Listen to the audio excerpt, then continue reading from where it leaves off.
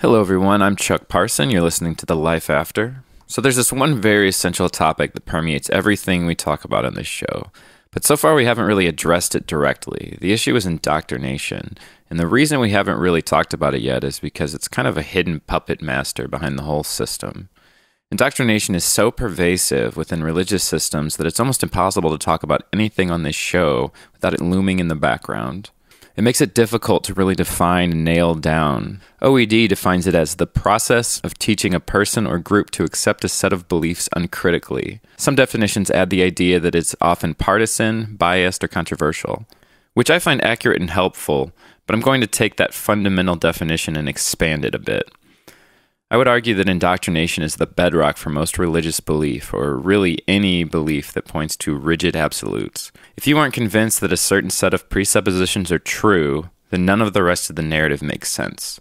In order for Christianity to work, you have to believe that there's only one God, that that God is personal, that it's omnibenevolent, that it's all powerful, that it interferes or has interfered with the universe we know in one way or another, all of those presuppositions are 100% immeasurable, but you have to accept them before you even start to talk about the creation of the world, the biblical moral code, the accuracy of the Bible. I mean, the existence, the divinity, and the passive acts of Christ are so far down the line of things you have to believe that if you really wanted to be sure of any of them before you believed the next one, you would be long dead before you got anywhere near Jesus on the timeline. What you end up with is a long line of dominoes. Each domino is one of those things you have to believe in order for your religious system to remain whole. Indoctrination is the insistence that you don't poke, prod, remove, or even too closely observe any of these dominoes, because what happens if you knock one over? Piece by piece, the whole system teeters over. I like to think of worldviews that rely on indoctrination as massively high towers that stand on only three or four pillars. For Christianity, for this illustration, we'll say those pillars are the things I listed earlier a good God, an all powerful God, a personal God, an interactive God. Theologians have spent millennia stacking bricks of theological ideas on top of those four pillars, and they have built this very impressive tower of beliefs that seems so grandiose that it's hard to doubt its relevancy when you set eyes on it. But what happens when somebody says, hey, what if God isn't actually good? The whole structure comes cascading down. Richard Dawkins talks about indoctrination as a virus passed between clergy and lay people, between parents and children. The thing I like about that analogy is it sort of points to the fact that indoctrination, in whatever form, is not usually anyone's fault. No one chooses to catch a virus, and no one chooses to pass it on. It just kind of happens. Every now and then, a new virus is created or distributed on purpose, but most people aren't equipped to do that.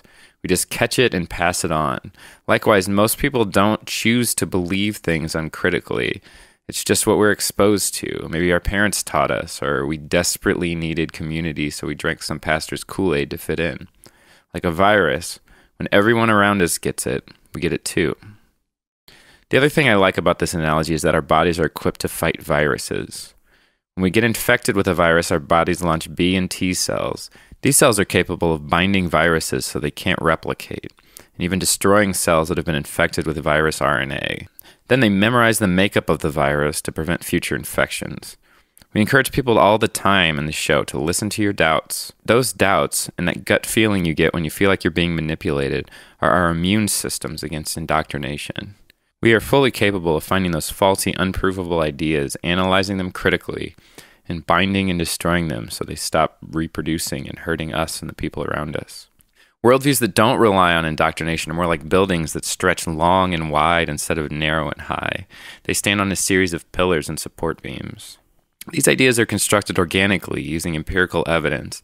And if you take one idea away, you might have to shut down one wing of the building. The structure as a whole stands because it doesn't rely on a few unprovable presuppositions. It's easy to de and reconstruct beliefs, express doubts, and abandon unfounded ideas because there's so much less damage involved in the process. Critical thinking is encouraged rather than forbidden, and progress is seen as the goal rather than the enemy. On today's episode, we're going to talk about indoctrination from a couple different angles. First, Hallelujah! Hallelujah! Jesus! Hallelujah! Yes, God. Praise the Lord! Shine, Jesus, shine.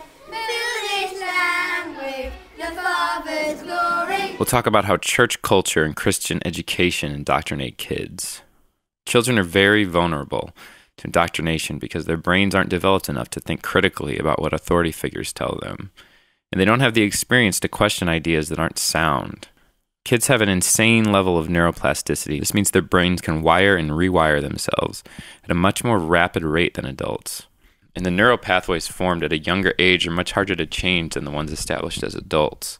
Kids are also wired to absorb copious amounts of information. They come out knowing almost nothing, and they have to learn just about every basic skill by age four or five in order to thrive in the world.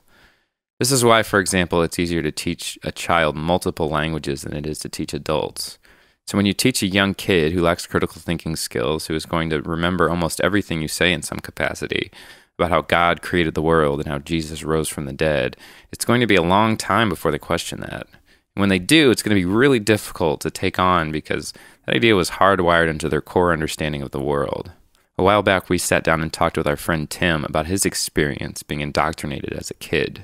Well, we were in church constantly. Um, every time it was open, we were there. I mean, whether it was, uh, you know, Sunday morning, Sunday school, God had to get up really early on Sunday. Obviously, a lot of people went through that. Uh, church service Sunday morning, Sunday night, Wednesdays. Um, we went to a lot of the different weekly things that they had, whether you know whether it was like the potluck on Wednesday or whatever. Um, and it, at home, I mean, it was. I, I just I just recently went back to my parents' house for, I believe it was Mother's Day, and I forget how much their house has been just drenched in Christianity. Mm-hmm. Their crosses, ev- everything in their home points to to Jesus, everything.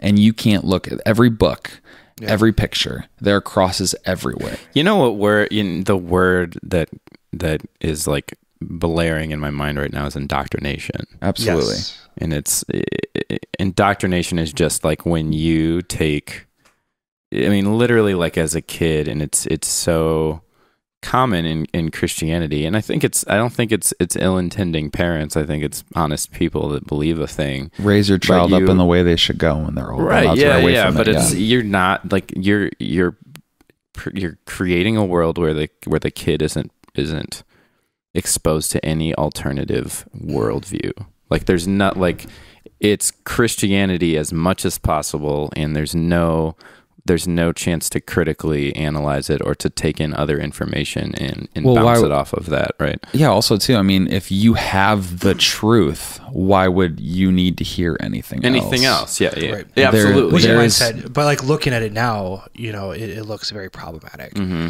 So, what what places were you indoctrinated? I know you had church. Um, you went there very often. I went to yes, we were You went to church private constantly. school, I went to private school. Uh, after third grade, I was pulled out of public school because my mom thought I was getting too popular, and she was like, "This won't do." So she pulled me out. So she she thought you were going to end up on a on a sort of Right. your own. So she pulled me out. Uh, went to a small Christian school not too far away from where I lived, and I stayed in Christian school, except for a three month stint in high school because I was transferring um, until I graduated. High so you're school. there pretty much. Yes. So you, private school. How how much indoctrination was there? Like how involved was the Christian Um, teachings? Well, I mean, it got less and less. I mean, in grade school, it was very, it was like Sunday school, but with math. You know. Wow. Yeah, pretty much. I mean, like it was it was very small. Girls could not wear pants. Um, you know, you had to have collared shirts, no no print. It was it was very very Sunday school. Um, I mean, th- it was just real for me then. It was just life. Like I didn't think it was a big deal back then. You know, it was just how everything was. We'd have chapel a few times a week. Um, and then it got less and less. Obviously, I mean, I, then I went to a Christian school up in a nicer part of town, which I didn't live in a. I lived in South County, you know. So like, in St. I guess if people are listening uh, who aren't from St. Louis, it's it's a working class, um, kind of blue collar area.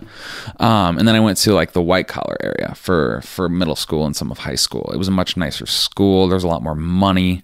Um, and I wasn't necessarily someone who, you know, wanted for anything, but I definitely wasn't the upper crust. So it got less and less. Um, there was still chapel like three days a week. Um, and I mean, I didn't know anything about anything other than Christianity. I didn't. So tell me a little bit about the philosophy of your home life. Well, um, everything revolved around scripture and trying to honor God. My- I mean, my name actually means honoring God. That is the definition. But are you? It's kind of ironic. It is a little ironic. Um, yeah, I was, I was, I mean, my dad, um, he, I mean, I love my dad. He's a great dad, you know, I mean, but he was in it, you know, Mm-hmm. my mom was in it, you know, and they, I, I honestly believe they were doing everything they thought was right. But it got to the point where, I mean, I, I remember once in middle school, I had um, some secular music, and my brother, who was also really into it, and I mean, everything was guilt. You're never good enough. You know, I mean, you always had to had to recheck and make sure that your intentions were pure. When you're a kid and you think that what you're doing isn't good enough, and there's nothing you can do, it's it's you just you feel terrible constantly. It's like a, it's a terrible feeling. Um, And this was just part of, I mean, not just your family life, but probably also the, the church that you were part of. right. Well, one of those are fairly interchangeable. Right. Okay. Um, Yeah. I mean, since we were always there, I mean, and I went to uh, Awanas as well. Uh, you know, and that Which, is, approve workmen are not ashamed. It's like the Christian evangelical Boy Scouts, Scouts, but you don't tie any knots. You just memorize learn scripture. Scripture, yeah, Right. that's it. And I mentioned in the first episodes And- where you like earn Yeah. the little jewels to put on the little. And then they're like, crown. like the the weird thing about it is that like the just kids that were really good at memorizing things excelled at it, and everybody Yeah. else was just sort of like a little lost. Mm-hmm. Yeah, I mean, that was always. And me. I had a bad home life, so I didn't have the parents like helping on a weekly basis. Oh, right. So I, I actually didn't say enough verses, and I was asked not to go for one week. No, Like, really? yeah, I was disappointed. Yeah, I just Poor I Brady. liked the Poor Awana. Olympics. That was my favorite. I was really good at the three-legged race. Okay. That Yeah, was there you some, some pride. What- what up? what other cultural things do you remember from the church that that maybe kind of weird for you, or something that that felt foreign to you? Um, so I started out in just like an evangelical free church when I was really young, went to a Bible believing church, which both of those churches are fairly, you stand there, you sing songs, you sit down, you do nothing. That's it, you know? But then I started going to a Baptist church. And when my first, first time I ever went to a Baptist church, people get very emotional. It's very emotion driven. Um, and that's how that's how they fuel the experience. If you're feeling the spirit, you're feeling it through your emotions. And then people would be like raising their hands, singing and, and running down and, and praying at the stairs, which they called the altar, which I had no idea what that was. It, it- Right. Yeah. That's. I remember the like hearing about altar calls. And, Yeah. And being like, what? Oh, like, what does that mean? Did you have altar calls where you were from, Chuck? Um, I did not in the church that I grew up grew up in, Oh, wow. but in uh, in the church I went to in high school, there were altar calls. Church I went to in college, uh, the, I went to two different Baptist churches, and they both had altar calls. So where where Tim and I went, you had to like basically, if there was an ice cream social, there was the prayer of salvation. You know, given an opportunity for people to get saved. Okay, or- yeah. It was everything. Like there, we could not do any service. I remember even being in meetings where people would discuss whether or not you need to do it, and, and it was Yeah. always a resounding yes. Right. if always, you always. you'd be stifling the Holy Spirit. You It's know, like- there's an interesting perspective from me as a I, I was a worship leader for years and years in in, in church, and there was this uh, there was definitely a plan. You know, like it wasn't like I think for I think for the average churchgoer, there's this degree to which it, it might seem kind of spontaneous, or it might seem like it's the right moment. You know, yeah. but there is the song is picked, the verse is picked. The, the, The most emotional part of the Everything. of the sermon is is what's being said in that moment. And there really isn't it's emotionally heightened and it's very reactionary. yeah. Uh, which is alarming to me now. It all it made sense then because it was like, oh well, this is how you get people to the point where they feel the weight of their sin, or they feel like they need to mm-hmm. repent, or they feel like they need Jesus, or they feel like they realize, oh, this part of my life needs to change. And- but it's really that's not when healthy changes are made. When he- healthy changes are made when you're when you're emotionally stable and you're making good You're able to weigh decisions before. Right. Yeah. I don't even even say you can use the scripture to say that if we're if you were going to build a bridge, you would stop and say what what are the costs. You you want to have like a very um, a very sober way of looking at it. You don't want to be swayed by your emotions. You want to sit down and say, okay, if I want to do this, I want to give my life over to this religion or whatever. Um, here are the implications of that. I want to be aware of those before I go in and make that decision. Right. Also, too, I feel like I feel like someone who's already dealing with a lot of guilt because they've been perpetually told over and over again what they're doing is not right. And then mm-hmm. you then you take the message that has been, you know, over an hour bashed into your brains and then you turn the lights down then you play this beautiful song and everyone is singing and you're for me I was a teenager so like I'm already not certain about my reality in general. I mean there's you know puberty and there's a lot of different things mm-hmm. happening m- both physically and psychologically mentally and then you lay that on uh, and mm-hmm. it just it is a very unhealthy way to to just treat people i feel Well, especially in the tailspin of puberty, you know, there's horrible things that just happen. Your, Well, your and you- brain, your brain just basically mush until you're in your late twenties. I feel. and like. you and leadership pretty can just accurate. get you to do anything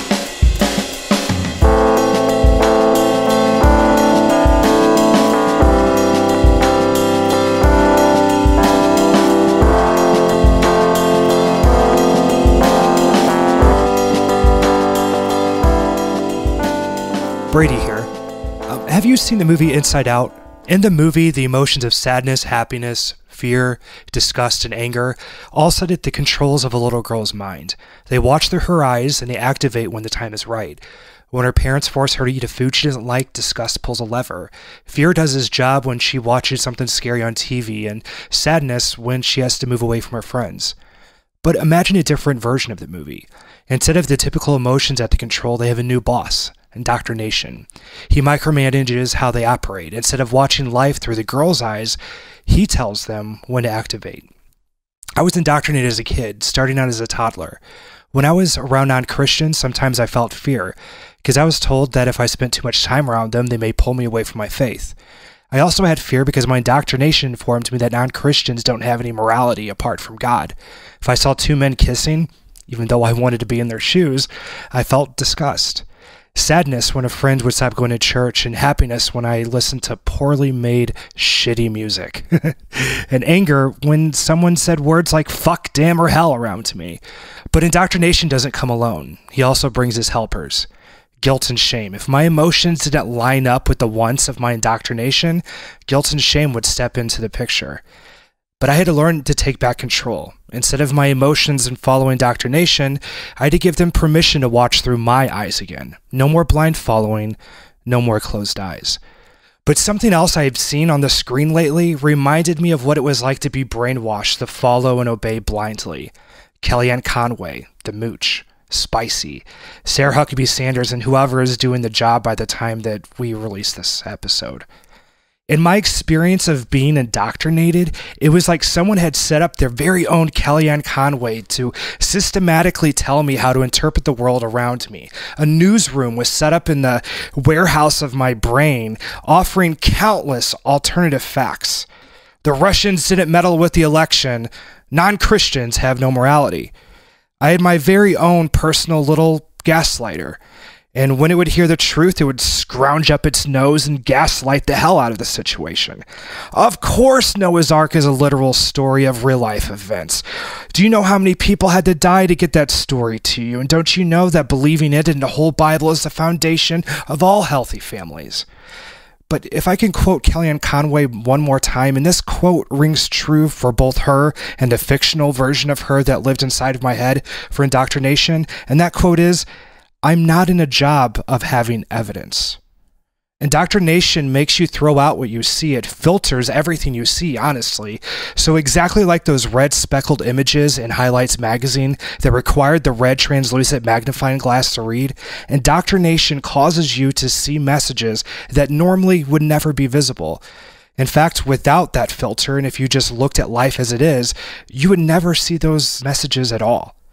It told us how to see the world and it told us how to feel about the world. But the world that I saw wasn't the world that actually is. A little gaslighter in our heads. That reminds me of a conversation Brady and I had a while back. What exactly is gaslighting? Indoctrination relies on it, but let's expound a little on what that means. Do you know what finally got me the courage to start doing this stuff?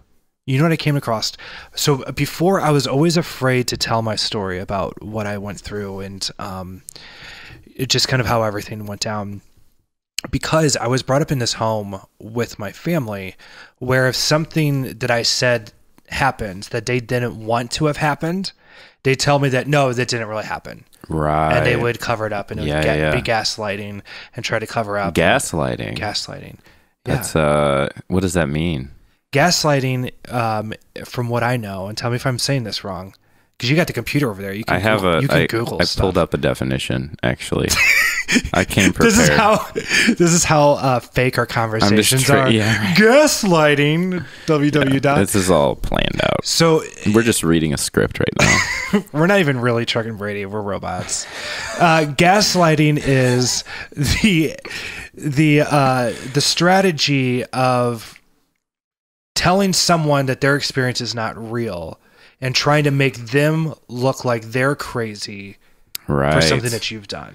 right. Yeah. It's uh How do I pair? How do I? That's good. I found so um Oxford OED I looked A um friend of mine went to college to to manipulate someone by psychological means into doubting their own sanity. there you go. I found another definition that's a little bit longer. Uh, gaslighting is a form of manipulation that seeks to sow seeds of doubt in a targeted individual or members of a group, hoping that the targets question their own memory, perception, and sanity. Um, so that was my childhood. Right. Um, and I think that's a lot of people's. Oh yeah, it's very common. Yeah. um, and it comes a lot with like mental health issues and stuff. If you were brought up around that, then that's usually a part of it.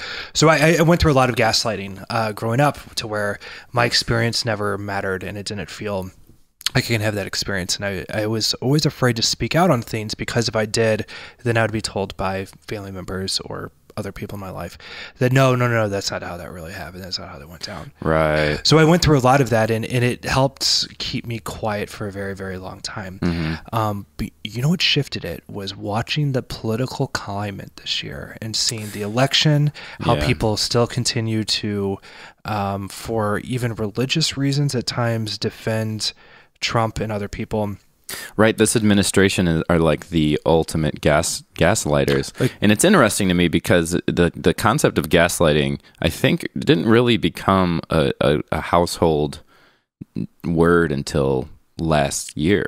You're really. right, right, right, And right. it was right around the time that that the the Trump uh, campaign really started pushing the concept. You know, I mean, you literally have Kellyanne Conway going on CNN and saying that that there are alternative facts. Right, right. you know and it's like that's not a thing. Like facts are there's only one line of facts. There are not alternative ones. And, and another another thing that they use is kind of like that that false uh, manufactured outrage of like you would say something that's sensible, and my response, "Oh my gosh, I can't believe you're saying that!" Like, no, you're so wrong. You're so to the point where you feel like you're being ashamed or, or looking stupid for saying something that's real. But because I'm bullying you, I'm manipulating you. I'm, I'm trying to Yeah. make you you look like you're stupid when it's actually me that's doing that. Right. So I saw so much of that within you know the political climate and and how and not just the trump campaign i mean right No. you have hillary clinton saying that she's always supported lgbt rights Right. when you're literally just watched a video of her in 2004 saying that marriage is between a man and a woman Or right? my favorite when she was talking to Bernie Sanders about universal health care, saying, "Oh, I fought for this in 1990, whatever. Where Right. were you?" And it you was hillary care before it was yeah But didn't they show a picture, and uh, Bernie Sanders is literally standing right next to her while she's giving a speech. Mm-hmm. Right. Yeah, he's yeah, like, yeah. I was supporting you on that, you know. yeah yeah yeah But no, it's just so this this concept of gaslighting. I saw so much of it, and I saw that the way that I thought the church leaders and family members or whoever would respond um, is exactly how other people responded to them, and I'm able to see how s- silly they looked. Um, and then I made the, the conscious decision of that doesn't bother me anymore. than that my story matters. I'm going to tell my story right and communicate what I think is important. right Yeah, I mean, yeah, and it's it's it's so important, and I think literally like your there there are only only under very extreme circumstances i- is it is it okay to accept that your version of a story didn't happen. You know what I mean? Like like Right. they're like like I've had friends that have had like psychotic breakdowns or something, and we have to explain to them that their story, what they think happened, didn't actually happen, and then there's proof and all of this. But for the most part, in in in life, it's it's it's not. There are very few circumstances where somebody can actually say like, no, that's not how it happened definitively, and you have to accept that. You know what I mean? Well, how many times is somebody treated poorly or abused and they come out and speak out against it? And an abuser comes up and says, Yep, that's exactly what happened. Right. That's how it all went Right. down. I'm that much of a bad person. No, they're going to defend themselves, um, either consciously or subconsciously. But also, Yeah. they're not just defending themselves of what happened physically, but what their thought process was whenever it happened. If their Right. intentions were not to hurt you, then in their mind, they didn't hurt you. They didn't hurt you. But if that's what happens, Right. that's what happened. Right, absolutely, and and uh, you know, uh, people that are habitual gaslighters typically, w- I think part of the reason that it's hard for uh, the abused to call out the abuser is because they know that what that their intentions weren't X Y Z, and so they just sort of accept the narrative that they're giving them because oh well they're a good person, um, or like oh well I know them and they they didn't mean it whatever. And it's like, no, you have to embrace the story. You know, it's a really big thing for me. And this is something that I learned while I was going through a program. And it's, it was a sentence in this book that I was reading that really stood out to me um, that um, you, you, it's never okay for you to tell somebody else how to feel. Wow. And that's like, it, when I first heard that, I was like, is that, is that true? Like I had to kind of think about it for a while. It was like, never. Like, is that real? Is that really true that you can never tell somebody how to feel? Because it's like there are a lot of circumstances where people have feelings that go a certain way that you might disagree with, and you know, and and it was kind of a regular part of my life growing up to be told how to feel, whether it was church or whatever other Or family members, yeah, anything like that. and you and and and I've I've tested it for a, a few years now, and I I really stand by that. You you can never tell somebody else how to feel. It's beautiful. Behavior is a, is kind of a different thing. Like if they're hurting somebody or themselves, you can comment on their behavior, but how they feel about a situation, you can't tell somebody how to feel about something. Well, two things. I think back at back whenever I was a Christian, there was a lot of talk about like, well, that's your truth, and we'd always discuss how disgusting that was because like oh that's moral relativism or whatever. Um, but i think that a lot of times when people talk about oh that's your truth or whatever what they're talking about is that's your perception of how you are feeling and that's what you're you're seeing. They're not trying to create an alternate view of what happened or of reality. But when you talk about somebody else's truth you're talking about their experience and their backgrounds and how that's interpreting the present etc the second thing i wanted to say was uh, when i was involved in church i was in, um, in charge of finding people to do halftime devotions for a basketball league at my church um, Right. and one week I did one, and I talked about how it was being brought up in, in the home that I was, where, uh, you know, my dad cheated, and you know, we got my parents got divorced, and having to go back and forth from house to house, and all of that. Um, and I talked on that, and a family member came up to me and said, "Well, it really wasn't that bad of an experience for you. You weren't really, you weren't Yeah. really in an abusive." Right. situation um, and it was almost like that family member introduced me to that book um, a child called it do you know what that is Yeah. Yeah. I, uh, yeah. Refresh my memory. um somebody this this kid was brought up in this horrible abusive home was like kept in a kennel uh Uh-huh. Yes. Yeah. Yeah. Yeah. so Uh-huh. it was almost like that family member planted that so that could be like the standard Okay. from there on out to how my childhood was it was like well it wasn't that bad you weren't really abused you Okay. weren't you weren't punched you weren't you know Right. uh, Right, right. sexually whatever abused so it really wasn't abuse but that that overlooks the whole idea that there is such a thing as emotional abuse uh, there really is such a thing as manipulation and spiritual abuse within a family is very real as well Spiritual um, abuse is big.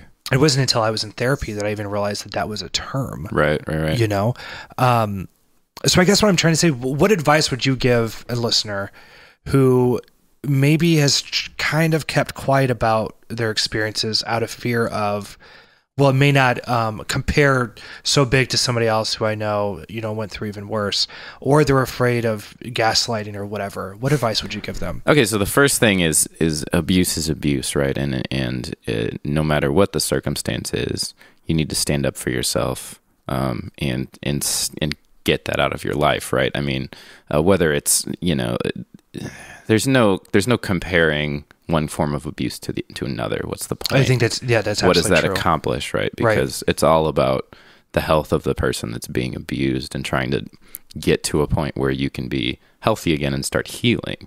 Mm-hmm. But it, so you have to you have to fight for yourself, which can be hard because yes, there are there are social aspects to that, which I guess plays into the you know the other thing you said, which is are, are they afraid of being gaslighted or afraid of social repercussions of of of calling somebody out or being real about what's happening in their life, um, and that is what makes it so hard, right?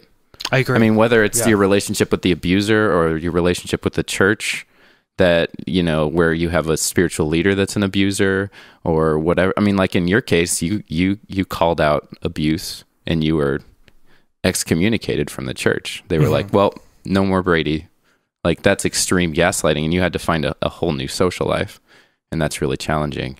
get into it. But I think the advice that I would give is your your your story matters. You're not obligated in telling your story if you don't want to. Um, there was actually Kimmy Schmidt this season has been amazing, and they talk about that where Kimmy is in a situation where um, she's feeling pressure to talk about her story, but she doesn't want to.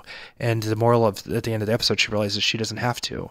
Um, she is in no obligation because she went through a really hard time to be um, public about everything that's happened to her. But with that said, she is talking to people privately, and she is getting help on a private on a private way. And I think that's Right. so important that if you've gone through an experience that that is troubling you or has troubled you, uh, be open about it and talk Right. about it to somebody that you trust that you know is going to hear. Yeah. I was gonna say uh, the first step is is finding somebody that you can trust, that you can be real with. Right? absolutely. Yeah. Um, The Unbreakable Kimmy Schmidt, season three, now available on Netflix.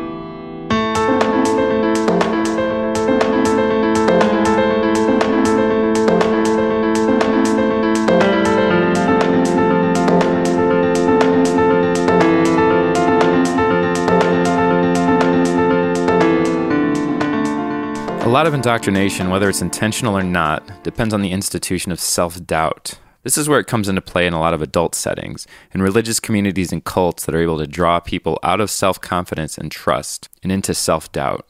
It's easy to trick children into believing whatever you tell them. But with adults, you have to manipulate them into questioning their own ability to reason and understand the world around them. The premise in a lot of these cases is kind of a script where leaders say, You are fundamentally flawed in X way, and therefore you need our special or secret knowledge to be saved, or to fix your flaw, or to be happy. In Christianity, obviously, it's usually something like, You are a sinner destined to go to hell, and you need our guidance to understand the sacrifice Christ made to atone or propitiate for your sins, so you can be saved. Or in less hardcore communities, it might go something like, You have a void in your soul only God can fill, and we have the answer to your hardest questions. But they always sort of drop you into the middle of a narrative without a lot of backstory. It's kind of like how the Star Wars series starts with episode 4. The narrative doesn't require you to ask questions about the Force or Luke Skywalker's backstory or why Obi Wan is good and Darth Vader is evil. They're just implied. In a lot of religious settings, by the time you start to ask hard questions like, how do we know God exists? How do we know he's angry with us? How do we know he's good or all powerful? Or sometimes more specific ones like, why does the Bible say to stone homosexual men when my friend at work is gay and he seems to be a really good person? Or my favorite barista is an atheist and she seems really happy. Are you sure this is the only way to experience joy? Indoctrination relies on you either ignoring these questions every time they come up or valuing the answers the institution gives you over your own. Both require you to doubt your own ability to reason and know what is best for you and the people around you. We sat down with a good friend of the show, Jamie Lee Finch, to talk to her about her experience of getting sucked into a cult thousands of miles from home and how she learned to trust herself again after escaping. Yes. So the best way that I've ever been able to explain my relationship towards religion and consequently my relationship towards the indoctrination that you're referring to is um, pulling pulling a little bit from Arrested Development. You guys have definitely seen Arrested Development. Oh, yeah, Yeah, yeah, Okay, so you know the episode where Gob gets married really quickly Yes. to Amy Poehler's Amy character. character, yeah. Um, and they say that it happened because of a series of escalating dares. Yes. Yes. That's my relationship with religion. Oh. Oh, God. It was just a series of escalating dares where I would be inside of one stream or expression because I was raised Southern Baptist. I was born into a Southern Baptist home. Oh, I didn't know that. Okay. Mhm. Yeah, I was raised Southern that. Mm-hmm. Baptist. Uh, my dad is very deeply committed to um, being a Southern Baptist um, still. And so that's how I was raised. And then when I started driving, um, and I did, wasn't really vibing with that Southern Baptist church for a number of different reasons, um, I started going to the nearest, the closest, and I went to a Christian high school too. And so a lot of the people I went to school with were a part of a youth group at a different church, and it was a non-denominational e-free, I guess would be the classification That was a big thing with Tim as well, is that he mentioned he just didn't have a way out. It was he was at home and everything was Christian. He was at Right. church and everything was Christian. Right, right, he was right. at school and everything was Christian. There was just like no It's integrated. Really, it's it's. In, Oh, it's, in your every- whole life. Yeah. It's every part. Yeah. So I left Southern the Southern Baptist expression and went to a non-denominational expression. And then when that one kind of it felt like that one was drying up a little bit, and I felt like I was growing beyond it. Um, I left that, and then I went to.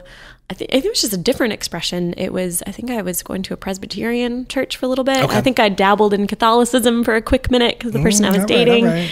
And, um, and then after the Presbyterian, and and I even surprisingly enough spent some time in the Acts twenty nine kind of that realm. was my background. Yeah. okay, so the Mark Driscoll That hasn't come nonsense. up on the show at all yet. That's actually a Which whole is surprising. yes. Yeah. That's a whole different uh, topic we're gonna have to tackle. At some Probably, Point, I think. yeah. So I, I- spent some time with one of those types of churches, and then from that point too, I moved kind of beyond and out of that expression into when I moved to Nashville. So all I'm saying all this to basically say this is leading up to getting me to Nashville.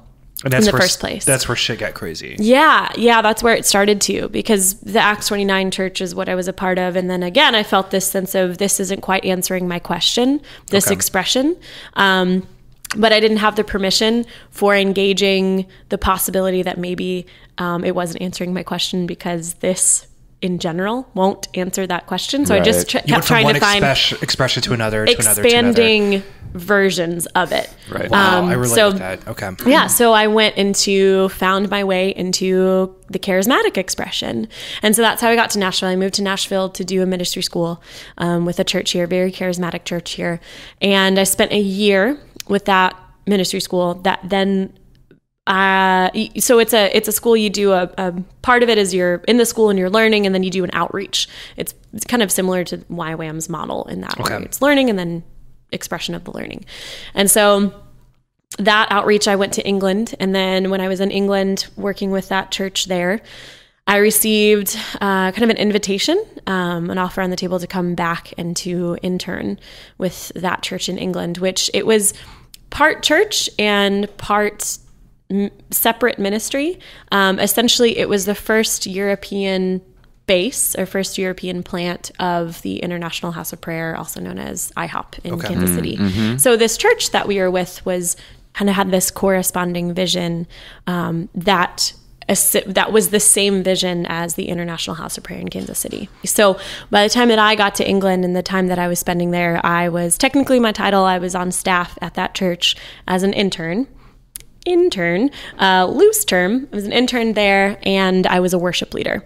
So I was essentially singing, singing to an empty room for forty something hours a week was my literal job. You, you have to explain that to me because I've never gone to IHOP. I've never experienced Okay. that. Right. An yeah, it's part of their model. Yeah, so their belief system that IHOP is rooted in, and this international International House of Prayer and then House of Prayer Europe, they have this core belief that um, it's very end timesy focused. So the core belief is that Jesus is coming back, um, and that's the greatest thing you could ever imagine is for Jesus to come back. So the sooner we can get Jesus back, the better. And for whatever reason, they believe that they have been given some sort of special vision mandate from God that says the as quickly as you can possibly establish 24/7 prayer and worship on the earth, Jesus will come back sooner. So they have this they feel like they've received this special message from God that basically says that Jesus will come back sooner. He'll come back more quickly if you can establish 24 7, 365 nonstop prayer and worship in certain specific places on the earth. Now, I don't know where they got that from. I don't know. It's uh, it's clearly not in the I mean, Bible. they That's not understand a time thing. zones, right? That there's I don't think that they do. to be honest with you, I really don't think that they do because the uh, because having to understand time zones comes at the expense of that prophetic idea or that that working. my that okay. work. The Rolodex of like my scripture brain that still remembers everything in my long term memories. Like going through and I'm trying to remember what verses can be taken out of context and construed to to fit into this rammed into this there, model. well, no, that's the thing though. Is it's that's pointless work because there are no verses. There are no This is, verses. a, this is a special prophetic. they got a special thing. They got a Oh, special. right. So Wow. Mike Bickle and then the the pastor Ken Gott. It was Ken and Lois Gott, which ran this place in in Europe, um, has, in in England. Um, they believe that they got a special message from God. Oh my God. Outside of Scripture that says that Jesus will come back when there's and now I'm they have like kind of illustrative, supportive pieces of text that they use to bolster that idea. Um, and I don't remember what they are at this point, to be honest with you. But I was in school. Part of what they do there is you're in school, school, quote unquote, two days a week, and they're teaching you all about the prophetic history of why they're doing what they're doing. And what's so interesting is that very often dates and details did not match up. It was kind of your job to it was just pretend spoken like, like, it did. oh my god. Yeah, yeah. And so that's the whole the danger. I mean, that's kind of the bottom of the danger of this stuff is you disengage your cognitive function and your ability to use reason and logic in order to just stay in the club. Um, what like what initially attracted you to this place? Oh, yeah. So, what initially attracted me to it, um, I think some sense of that series of escalating dares, the sense that um, the way that I had been raised, always kind of feeling like the wrong kind of woman inside of Christianity and inside of Christian expression, um, I felt like my work was to was to just do better and to keep doing better because I never actually believed any of this. That's kind of the secret is um i never i never i remember vividly when i was seven years old just knowing and deeply deeply knowing that i didn't believe any of this that i was being raised in I did too. You know how I always explained it in my mind at, at the age of like seven or eight is I always thought about it as He Man. That I'm like, I remember seeing like he, I never really watched the show, but I knew He Man was so supernatural and so weird that I had to like think to myself like, can He Man like this this weird stuff be real?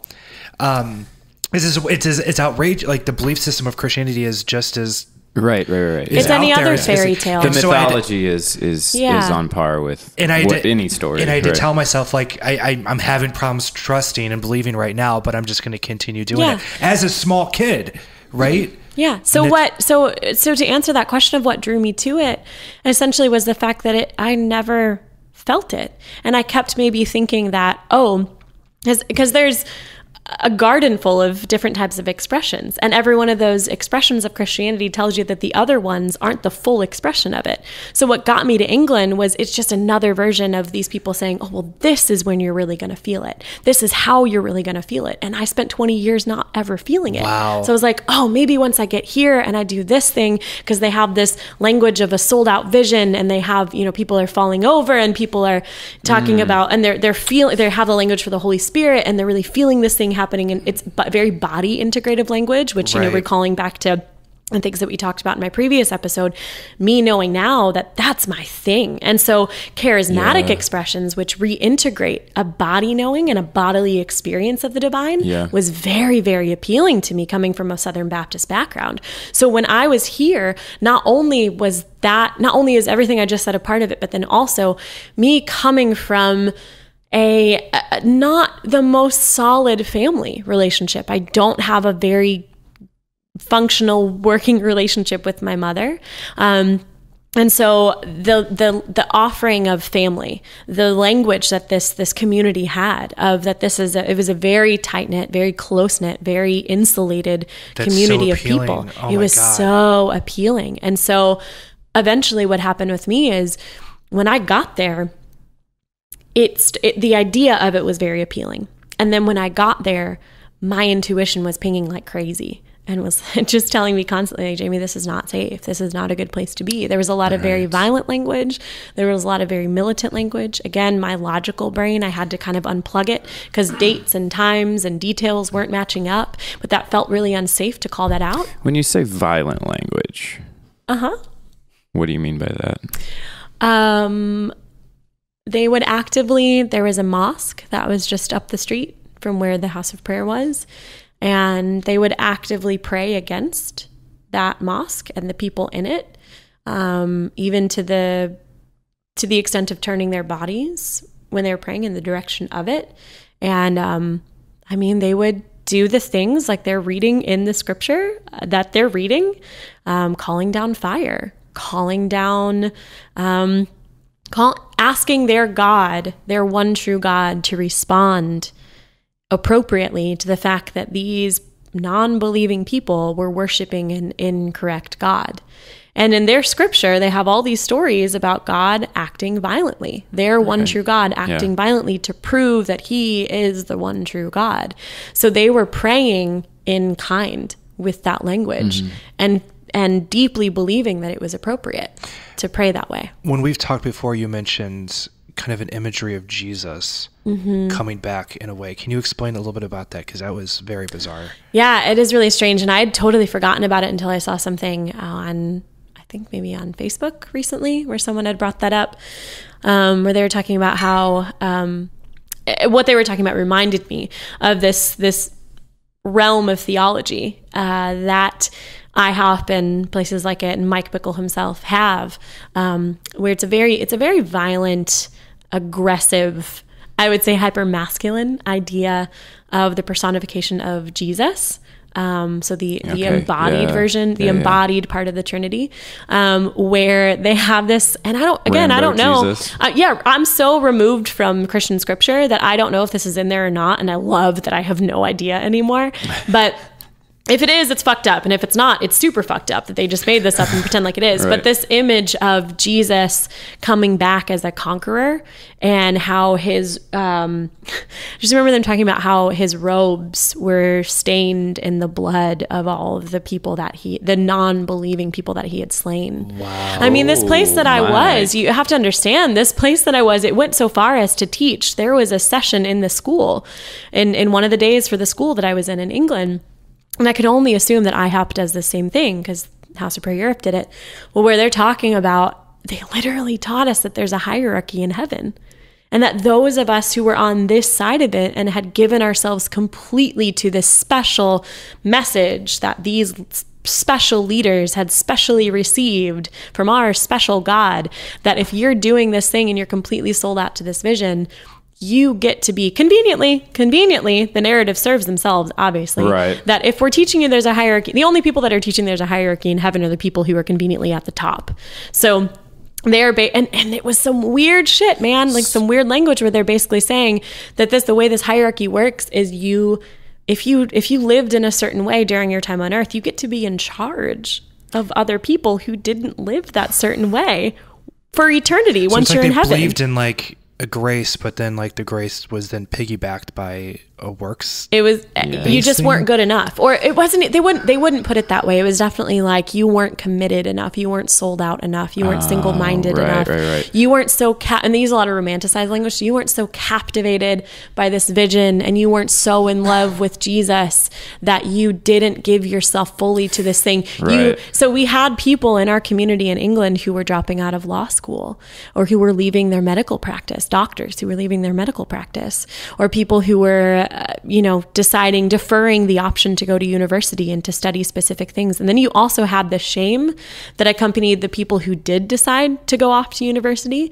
and who did decide to do things that were very social, even social justice minded, things to try and make our current world a better place. There was so much shame in telling those people that's not what you should be doing with your time because you should so be doing this like- thing instead. There are a couple of you've sort of already named a couple of them, but I want to I want to be specific about this. What systems were in place that helped maintain this system of beliefs for for people that were beneath it sort of? You know what i mean? Like like you were a victim to this this system this system. What made it work? Like what made it continue to keep you in. Yeah. So one of the problems that comes kind of in tandem with these with the charismatic expression um, and this acceptance and this belief in spiritual gifts and in higher giftings is that there is a hierarchy in place there too, where Okay. when the nature of a prophetic gifting is accessible and allowed and has permission, then there are people who identify as prophets. And so the problem of ba- basically how that works, the problem with that is you had, or how you kind of keep people in line with that, and what I now see is very much a problem, um, is this this thing that was a joke when I was in England um, that you know, it was funny for us then, kind of, but I look back on it now and it's definitely not funny. Um, was this joke that Pastor Lois can read your mail. And what they meant by saying that was, well, she's a prophet. And so she's going to have a direct line of access to the divine, a direct line of access to God to know things about you. So you better not step out of line. Okay. You better not even, it's not even necessarily about actions. You better not even think, Think. something Yeah. that is inappropriate or is out of step with the vision that we're because uh, again their constant language was about being single-minded and totally focused and they they were constantly on that on that um yeah, they were constantly communicating that idea of this is what you're on this planet to do. And if you decide to do anything else with your time, if you want to give your life to anything else, um, that's inappropriate, that's sinful, that's bad. And so you have it's all shame. The answer the actual answer to your question is the way that they keep people controlled is through shame. But they keep them controlled through shame by instilling this intense amount of fear. By saying that we have the ability to know more about you than you tell us. Because God is going to be the tattletale Right. on you Right. if you're not completely sold out to this vision and god will tell us if you're not completely sold out to this vision Mm-hmm. and then you're going to get in trouble and so you if you if you take that and add it to the fact that i am living in a different country um you're at you're you're putting it on top of the fact that I'm only living in this different country trying to do this thing in the first place to convince myself of something I already don't believe in. So there's the fear of being like, what if they know that I already don't believe in this? Right. But I'm in this other country, essentially only living there comfortably at their will. I'm living off of other people's right. money by convincing other people. I've crowdfunded the shit out of this. I've like, I have supporters. Um, so if I don't keep this narrative up, if I don't like keep my head above water as much as I possibly can, I lose everything. And then you add on top of that the fact that they eventually, after the first few months of me being there and feeling uncomfortable, they broke me down with the family language Rhetoric. they had this it's super strange but this thing happened with me there where the pastors of that church essentially adopted me as their daughter as their spiritual daughter. Now i don't have a very healthy functioning relationship with one of my biological parents. What on earth is that kind of language going to do to me? I mean i'm all in at that point. I'm in because i finally have a place to belong so all of these things that had been pinging this whole time of my intuition screaming at me and even my physical body being very out of sorts because my intuition is screaming at me saying this isn't safe, this isn't right, this isn't healthy, this isn't good. That all you just kind of shut that down because you're like, yeah, but I finally have a family. Yes, absolutely. And then when that is also contingent on I'm also living in this country and I need this family to help me get a visa to stay in this country, I'm not going to ask questions. I'm going to let Pastor Lois read my mail. I'm not going to bring up the fact that in this quote unquote prophetic history, you're telling me two different stories with two different dates that absolutely don't match up. Right. I'm not going to say anything about Right. that because I desperately need to keep belonging. Yeah.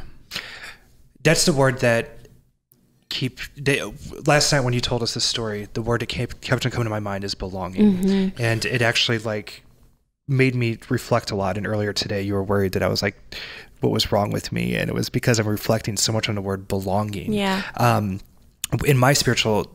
it The, the last place that I left, um, the the last Southern Baptist uh, Reformed Church that I left, or that disfellowshipped me, it was a situation like that where I had a really, I've had a horrible home life growing up, and they were my family for about seven years.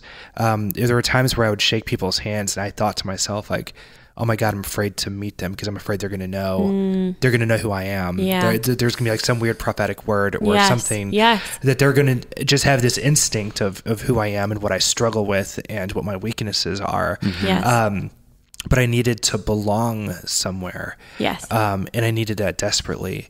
And there were times that I had, you know, doubts and all of these things. And I would go and you would ask questions and they would have an answer to it.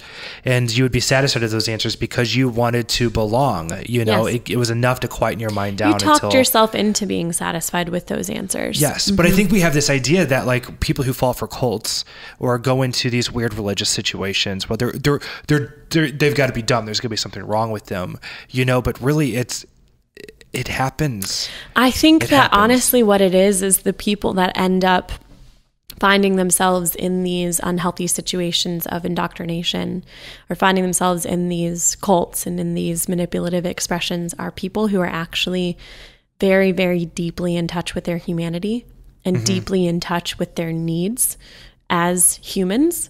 And when they hear the loudest, most recent, closest, most definitive, most confident voice that says, I can meet these needs for you, oh, they're absolutely going to run in that direction. It's a survival skill. Yes, absolutely. And so it's actually not the worst things about us or the weakest things about us that got us into these situations with these people that manipulated and abused us. It's actually the best things about us and the strongest things about us and the deepest and truest things about us that made us made us susceptible to being drawn into these unhealthy expressions. But what it does is it rewards people that have the ability to shut their mind off Mm-hmm. and to get into the cycle of it. And once you're in the cycle of it, you stay in the cycle of Yes. it until you say, whoa, whoa, whoa, whoa, whoa. And then you have to go it out. The word Right. rewards that you just said, I think, is really important to that. Is it continually rewards the people who are, yeah, just asking less questions and are disengaging more often with their own intuitive sense and their own intuitive knowing. They, it is constantly rewarding with verbal affection. It is rewarding with opportunities for leadership. It's rewarding for um, it's rewarding with platforms, um, with notoriety. It's rewarding those people that assimilate Yeah. to the rules as best as possible with this idea, this, per, this continually perpetuated idea of success, of what success Right. looks like within the system itself. And it's continually propping up those people. We so it's, it's cyclical. It just, it, it never stops. You mentioned It's begetting social itself. justice earlier, that people Mm-hmm. that care about social justice, they get put in positions where they can do more of those things. Yeah. And Right. because social justice is a good thing in and outside of, of a belief system, they think, well, I'm doing a good thing, so obviously I'm in a good thing. Mm-hmm. What Right. were you going to say, Chuck? Um, so the thing that that stands out to me, and both of you guys are sort of sort of saying in your different experiences, is this idea of a prophet, right? So like, it's sort of a, I guess for lack of a better term, it's sort of a Deus ex machina. It's like this, like it's like this uh, when when the church, when the cult, when the church, when the community is in a bind. It's like, oh, well, what did that guy say? Because he has a direct line to God, and he Sure. has The answer, he has yeah. special revelation that we don't have Yes. and uh, it's sort of it, it's it's like people become prophets and i've seen this like over and over again. It's like this person's a prophet. Well wait how do we know that? Well that guy said that he was a prophet and he's a prophet. Yeah. i was like well how do we know that?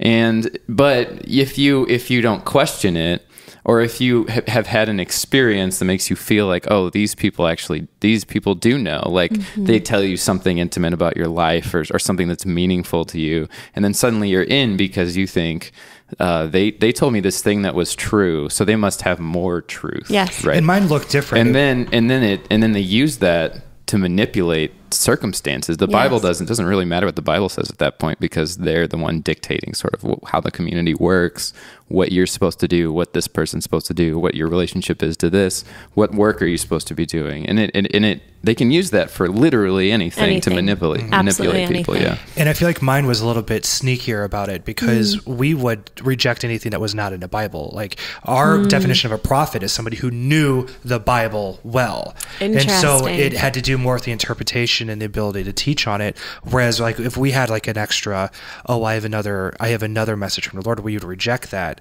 But what it came down to is people who still had the ability to do what you're saying, but did it in a way where they were able to take different contexts and put them on different ways. Um, and then it became like very personal counsel of, well, you don't need to reject counsel. Um, the Bible says that you need to have all this advice from all these people. So we're going to give you that advice. And so that's how it became prophetic. That's how it became the word, is because That's it sounded as if it was coming from the Bible that we needed this hmm. wisdom. God gave the wisdom to these people, and so now they're sharing it to us as, a, as an advice giver.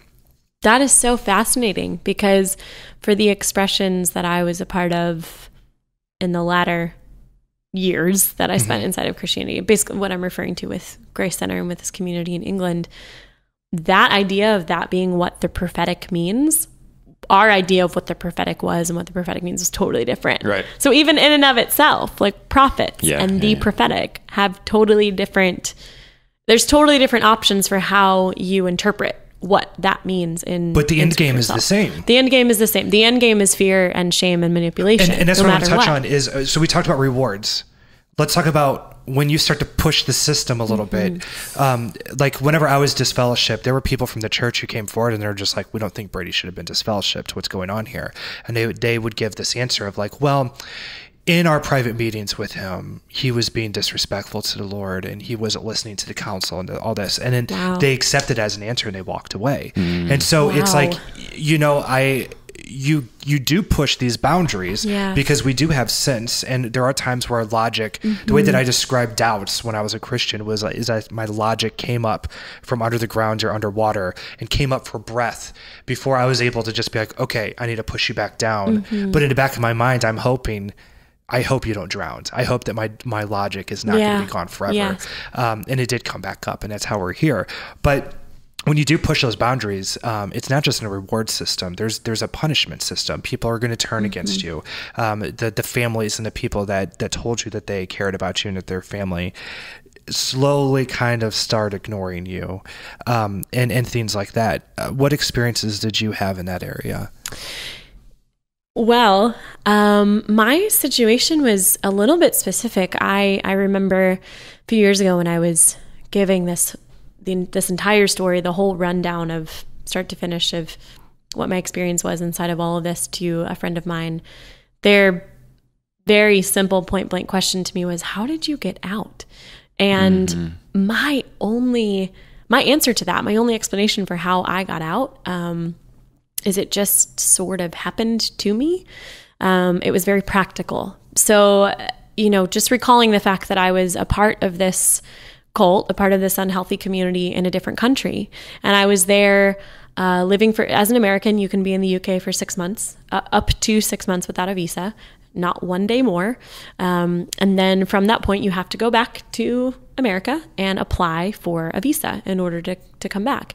And so, I left that community in England um, with the full intention because once they got me, once they hooked me with the family language for the last couple months I was there, I was all in. And I was like, this is my future. This is everything that I want. This is what I exist for. And so I came back to the States and fully intended to spend three months here seeing family and friends and traveling a bit before applying for a two year long visa to go back there. And my intention was to just renew that visa because I mean, I cannot stress this enough. I totally believed that I was going to spend the rest of my life in that community Right, doing that thing. So I came back here, and when I came back to the States, I left half of everything I owned in this whole world in my closet, in my flat there. I didn't even say goodbye to anyone because I was like, it's cool. I'll see you guys in three months. So it was like a just a subtle see you later. So I came back here, and two months into those three months of being being here, I received an email from some of the leaders in that church pretty casually telling me, "Hey, um, so we miscalculated some finances, and we don't have enough money to bring all of the people that we had promised to bring back as full time interns, like all of the Americans that we promised to bring back. We don't have enough money to bring you all back. In fact, ooh, whoops, we don't have enough money to bring any of you back." So, um, so I got this. I mean, I got this this email saying this to me in May of that year of 2014. An email. An email, an email. Right. Yeah, my This family was the sent me an direction email. of your life, and now here's an email. Here's an telling you. email. It's like a Well, breakup text from your mother. We don't really yeah. know. Yes. Sort so of, it's yeah. saying, no, we, really, yeah. whoops, uh, we can't do this. Um, and it literally said, check back with us in October, and maybe we'll n- know more about what we're working with financially. No practical. How are we going to get your stuff back to you? No. Oh, they had zero. That was not on their radar at all. No, like, oh, how are you gonna eat? Where are you gonna yeah, live? I had. I was homeless. I was jobless. I so at this point I'd been living off of other people's money. I was living off of missionary support for six or seven months at that point. Um, I had absolutely nothing. And it was so casual. And the sentiment of the email itself was basically the, the further manipulation is well, if this is what's happening, this must be what God intended to have happen the whole time. So have fun figuring out what obedience looks like for you in this situation. So all the other decisions that we made up to this point, saying they're God's will, we're obviously we're we're not going to say that we're wrong. We're just going to No, they weren't wrong. We're just going to ignore it and then Yeah. just move forward. Their whole I mean it's very much just wow. this is this must be what God wanted the whole time. So there's no space for me at all. The point of me saying all this mostly is for me to communicate that there is no space for me to validate my own emotions in receiving an email like this.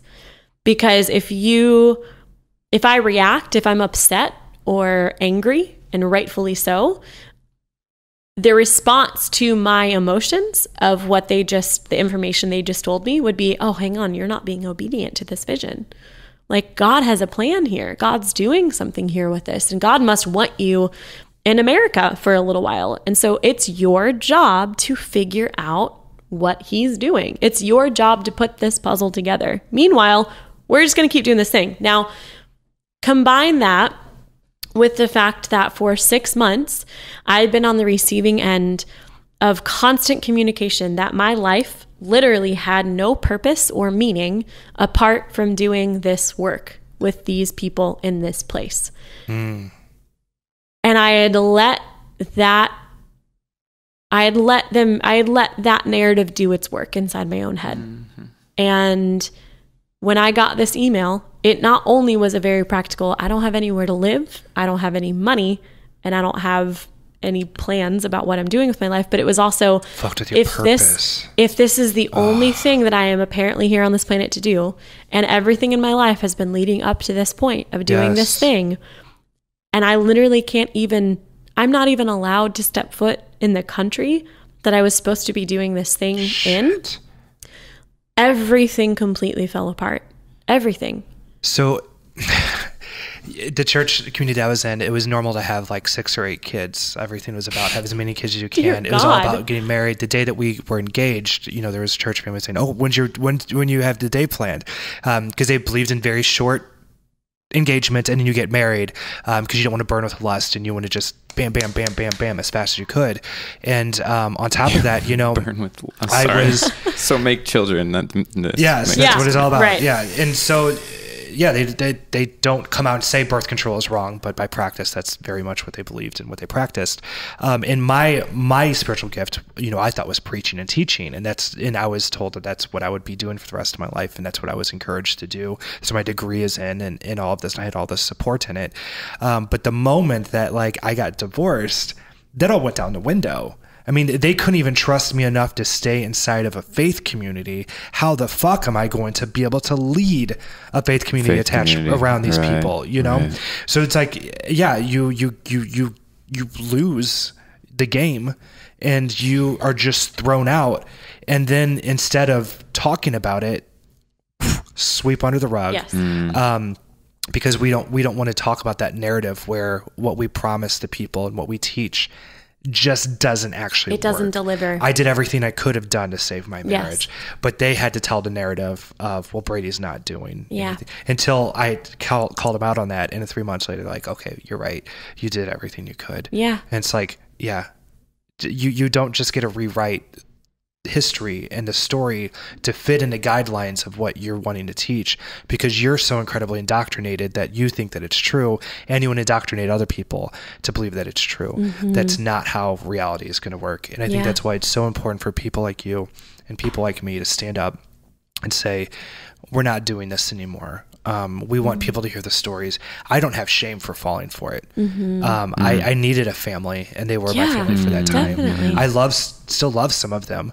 um, but the belief system is not something that I can, I can support or believe anymore. Because what is there? To, what is there to pay if you if you rebel?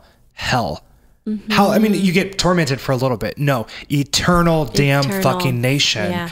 And it's outrageous that that is the Yeah. stakes of well, you're going to believe in what we have for with no proof. no proof and no no evidence outside of our book to say that the book is true. There's no proof or evidence. But if you don't believe it, if you don't get into the circular reasoning, then there is literal hell to pay. Yeah. And and that started. How old were you when that you started hearing that shit? Well, I remember, I remember it. I have a lot of strange, vivid memories from when I was seven, because I remember the specific house I lived in at the time. And so I remember being really, really, really afraid of the idea of the afterlife at that age. Um, but what's so interesting to me is that I would, I would, um, every night when I was trying to go to sleep, I would cry most nights um, because I would just have little seven year old existential crises. And um, I would cry for one of my parents to come in and, and talk to me.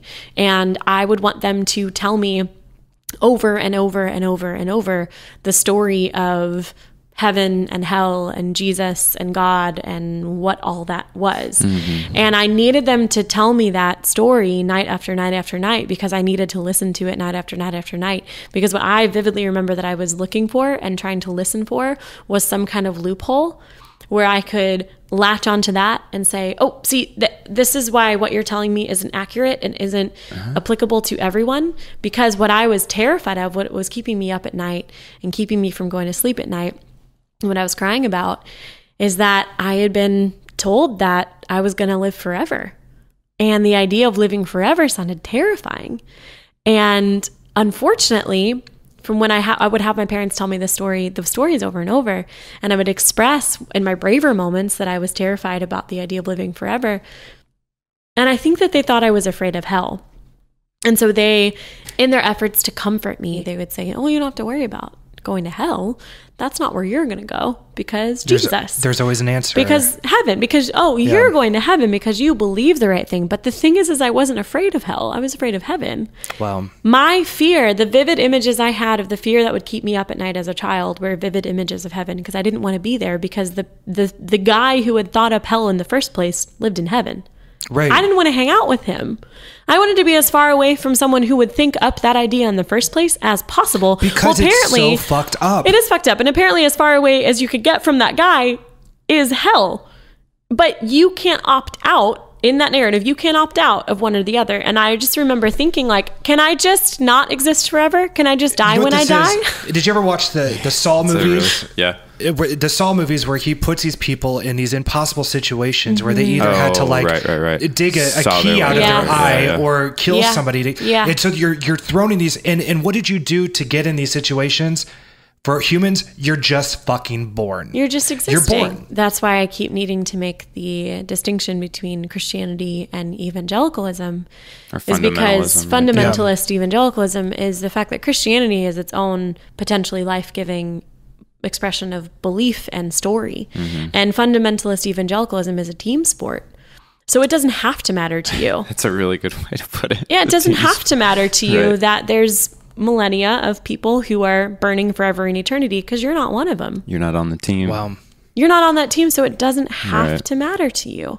So when you're asking people for some sort of explanation, when that matters to you deeply, and you're asking someone who is inside of that narrative, some someone in leadership to explain to you what to do with that logic, they don't have an answer for you. They're never going to have an answer for you because it doesn't matter to them. And the Because as long as you're winning, as long as mm-hmm. they're winning, they mm-hmm. don't have to be concerned with the ones who are losing. And they'll pay lip service to it and they'll talk about evangelizing and they'll talk about that. But it, but even that is its own weird team sport with tally marks and you know a lot of numbers. That's really Soul it. You're just keeping keeping track of numbers. my my advice get out of the system get out of the cycle i can see the world a lot more clearly now than i ever have before. Um, and i i hope that people are able to either find non-toxicity within their religion or to just get out get out. And and I think that it is um yeah I think that that is good um advice and that is a good compass to to point you in the direction that people need to go. Um but when you're dealing with people who um on a very base level on a very uh, when their needs are being met when their basic fundamental human needs are being met by assimilating to these narratives, it's not as simple as that. It's not. You I- can't. Just I didn't want to make out. it sound simple. It's not. Yeah, it, it's a very it's a very long process, and and for me, it was the inciting event was the fact that I literally couldn't get back to this place that I desperately and deeply wanted to be, and so in my you know trying to rebuild my life and start over being here in the states it gave me some space of permission because of that distance um, where my and my body started reacting in some really strange ways trying to go back to the church that i had been a part of and i was having panic attacks when i would enter the building and i couldn't be in the building for more than a minute and a half because the residual effects of the trauma Yes. that i had experienced Yes. in england were coming up Right. and so what I ended up having to do was give myself the permission to stop going to church every Sunday and also every Monday and sometimes Tuesdays and Thursdays. Right, right. Um, give myself the permission because I was f- having a physical reaction. And so the distance, that space, like I've said it before, I'll be the first one to admit that my initial inciting event of, of leaving that narrative was born out of a response to pain and a response to abuse and a response to manipulation. But once I was on the outside and I was in this larger landscape, it, all I experienced there was a, a deep inner knowing and a confirmation of this is where I was supposed to be the whole time. So that pain and that um, that abuse is actually what kind of like got my butt out the door. And once I was mm-hmm. out, because I had to take care of myself, I mm-hmm. had to take care of myself because of what happened. And once I was on the outside, I was like, oh, this is where my answer has been the whole time. But I just never had the permission to leave.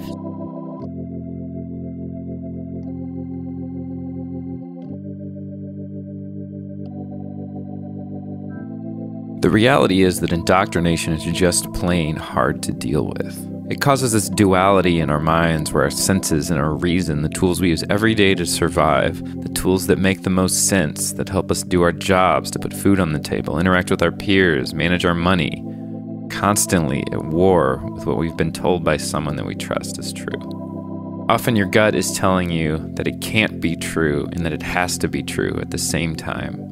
My advice if you're wrestling with this, take a big step back, move away from your church or religious institution if you can. Give yourself space to ask hard questions, trust yourself, and don't undervalue your ability to reason. If you really don't think what you have been taught is true, don't be afraid to take it all apart and start over. It's scary, but I've heard this story hundreds of times now, and I can say with confidence it will be the best thing you can do for yourself. Thanks for listening. Thanks to Tim and Jamie for contributing. This has been another episode of The Life After. And remember, if you don't go to church, Sunday is just a second Saturday.